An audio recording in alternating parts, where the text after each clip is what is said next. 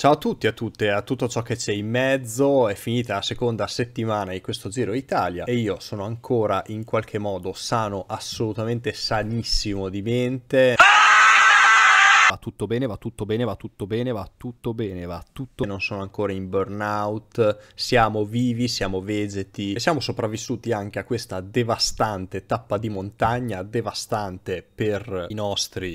come dire, pignoni. Una tappa di montagna che sapevamo da quando è stato rivelato il percorso del giro che era stata disegnata in una maniera decisamente controintuitiva, soprattutto a livello di spettacolo, e non ha tradito in questo senso perché il gruppo Maglia Rosa si è preso un grossissimo giorno di riposo anticipato dopo aver fatto il delirio nella tappa di ieri. È la solita storia, la solita storia di queste tappe di montagna con pendenze molto pedalabili e devo dire che considero un bello spreco aver fatto questa tappa di domenica anche se poi è coincisa con un sacco di altri eventi sportivi dalla grossa magnitudo che magari neanche un mega tappone del giro avrebbe bucato a livello di visibilità però, però, però, però. La cosa meravigliosa di questa tappa è stata ovviamente la lotta nella fuga per la vittoria del singolo giorno fra un sacco di delusi delle prime due settimane e svariati altri protagonisti classici di queste situazioni, vedi lo zio Bauke, ho voglia di citarlo proprio così. Bella zio. Ma devo dire che in realtà anche la stessa lotta per chi avrebbe vinto alla fuga alla fine è risultata abbastanza scontata. Giulio Ciccone era incontrovertibilmente visibilmente e nettamente il più forte di tutto quel gruppone di 25,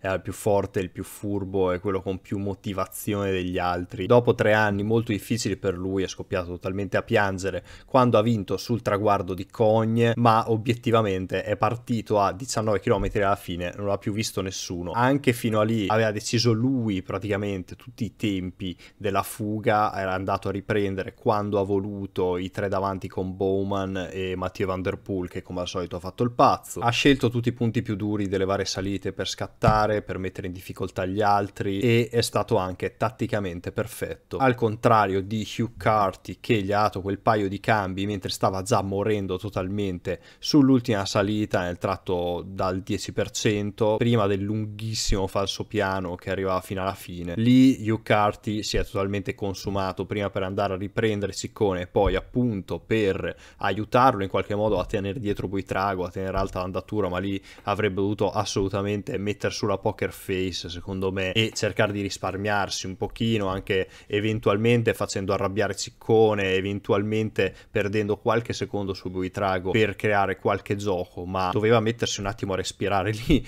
non dargli quei due cambi. Il Cicco ha saputo capitalizzare alla grande questa pesca che ha fatto proprio con lo huge al cammellone nazionale che obiettivamente in questo giro non ha assolutamente rubato l'occhio per ora. Ruba l'occhio oggi totalmente Giulio Ciccone, dominantissimo su questa tappa. Ho veramente poco da dire se non esprimere la più grande felicità per lui che ha passato veramente dei pessimi momenti a livello mentale perché quando ti esponi tantissimo, ti autocrei e ti creano da fuori delle grosse aspettative che poi non riesci a rispettare anche per colpa di tanta sfortuna, eventi esterni, allora sono quelli i momenti momenti più difficili da superare per un atleta. Comunque lo sapete, non mi nascondo, secondo me questa tappa è stata assolutamente noiosissima e ripeto, organizzarla di domenica è stata, non so, una disdetta. Comunque, al di là della noia e del fatto che la noia passa molto più velocemente se vissuta tutti insieme, per esempio seguendo tutti insieme la tappa su Twitch, mi piace sottolineare come dopo una prima settimana nella quale l'elefante nella stanza era l'assenza di vittorie di atleti italiani, in questa seconda si sono decisamente fatti valere con la vittoria in volata di Alberto Dainese dopo una tappa mista di Stefano Oldani e in una tappa in montagna di Giulio Ciccone. Così abbiamo completato tutto il trittico delle tipologie di tappe possibili. Aggiungiamoci il fatto che Vincenzo Nibali e Domenico Pozzovivo stanno facendo della gran classifica e hanno fatto una tappa ieri a Torino veramente immaginifica. Le potenzialità degli atleti che abbiamo in gioco sono state rispettate, hanno performato al loro meglio possibile perché è questo che possiamo chiedere ai nostri atleti.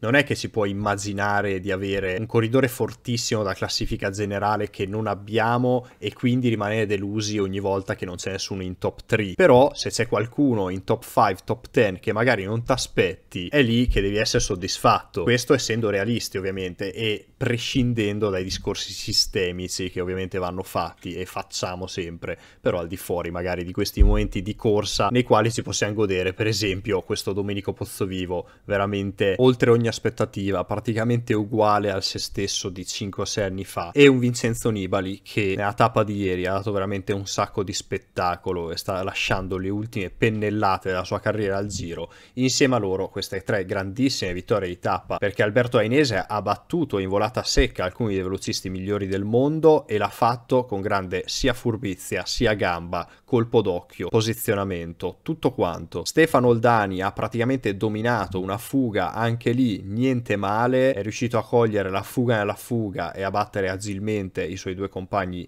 in volata e tra l'altro lo stesso Lorenzo Rota ha fatto super bene ovviamente in quella tappa. Oggi Giulio Ciccone si è dimostrato nettamente, ma proprio nettamente il migliore, sia in salita sia in discesa e tra l'altro lo sarebbe stato molto probabilmente anche in volata ristretta di tutta quella fuga di 25 piena zeppa di garati ciclistici. Nel frattempo chiaramente c'è anche chi sta deludendo, chi non ha assolutamente catturato l'occhio al volo, mi vengono in mente Lorenzo Fortunato e Roccia Formolo, che comunque la sua bella tappa potenza l'aveva fatta, ma da lui probabilmente si aspetterebbe un po' di più, è il contrario il discorso invece che facevo prima, per esempio per Pozzovivo, per Oldani o per Dainese. Insomma, prendiamo quello che possiamo prendere e in questa settimana era difficile prendere di più di quello che abbiamo preso. Ci sarebbero un paio di protagonisti da bestia rara da piccare oggi, ma per sottolineare quanto sia stata noiosa questa tappa, quanto sia stata povera di eventi e per rendere merito a tutti noi voglio dedicare il brindisi odierno alla nostra community per aver superato tutti insieme anche questa seconda settimana. Forza ragazzi, viva la sanità mentale, viva il Giro Italia e alla vostra